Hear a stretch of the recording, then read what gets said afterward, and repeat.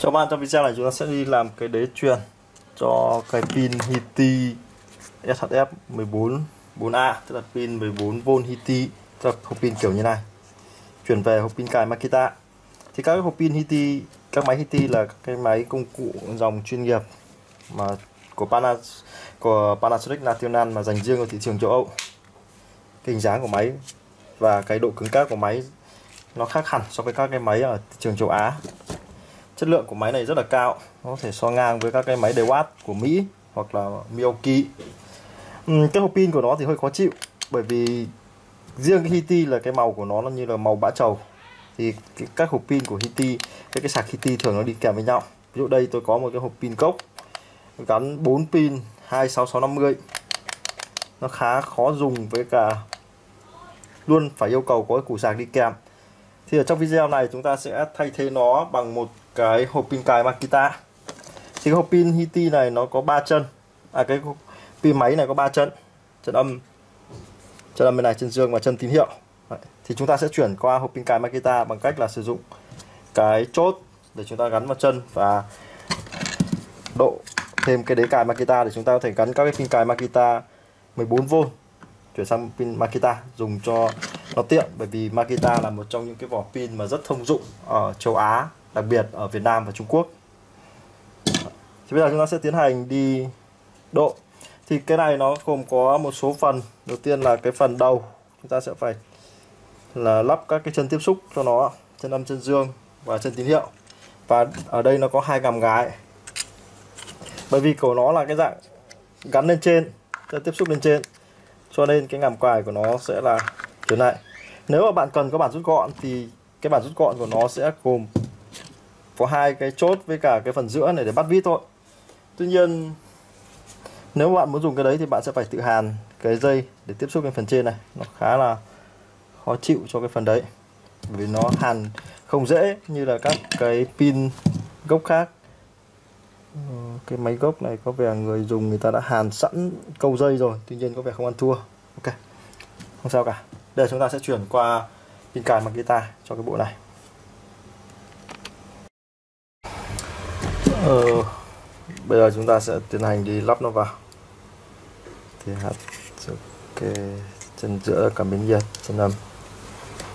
Thì lắp giống như các cái bộ khác. Nó sẽ lắp gờ trước.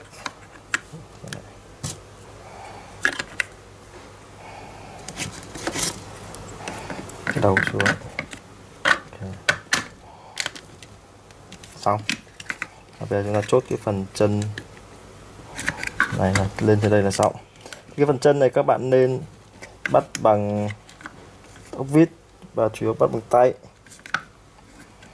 Bởi vì cái gen à cái cái nhựa IMAD này nó sẽ có thể ảnh hưởng đến cái đây chúng ta sẽ phải chỉnh lại cái chân này một chút đây, không vấn đề. Rồi bây giờ bạn bắt vít bằng tay lên cái này. Để chúng ta giữ được cái đế kiểu như này. Chúng giờ sẽ đi bắt vít xem. Đây cái bộ mà chúng ta đã lắp xong. Ok. Bằng tay rồi nhìn thấy. Nó sẽ là kiểu như này. Nhìn khá là gọn. Bây giờ chúng ta sẽ cần gắn cái pin 16,8V 16,8V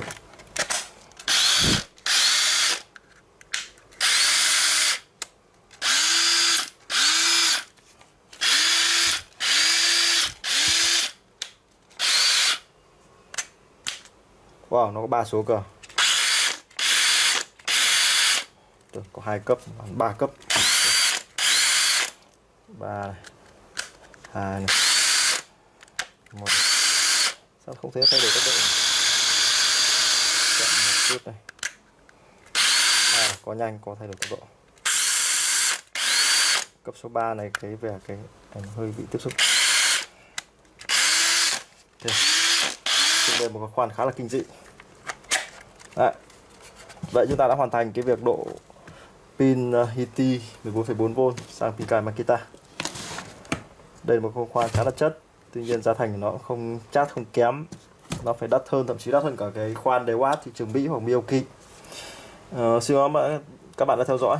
Chú ý là ốc này bắn bằng tay và chúng ta ở đây tôi thiết kế chỉ dùng với ốc M3 bạn không tự chế sang ốc khác bởi vì cái nhựa in 3D nếu mà bạn gắn cái ốc kích thước to hơn nó sẽ làm cái miếng nhựa là sẽ bị bở và nó sẽ bị vỡ. Nhựa 3D nó khác với cả nhựa đúc thông thường.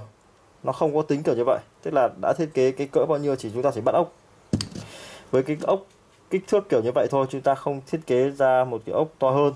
Còn trong trường hợp bạn không có ốc thì muốn bắt ốc to hơn thì bạn phải dùng cái nhiệt để bạn dùi một, bạn khoan một hoặc là bạn dùi một cái lỗ có cái đường kính sấp xỉ bằng cái đường kính cái ốc, sau đó bạn bắt chứ bạn không được bắt cái ốc. Ví dụ đây là M3 bạn bắt ốc M4 vào đây chắc chắn cái vết nhựa sẽ bị nứt. Cái đấy là cái đặc tính của nhựa in 3D nó không phải nhựa đúc. Xin ơn các bạn đã theo dõi.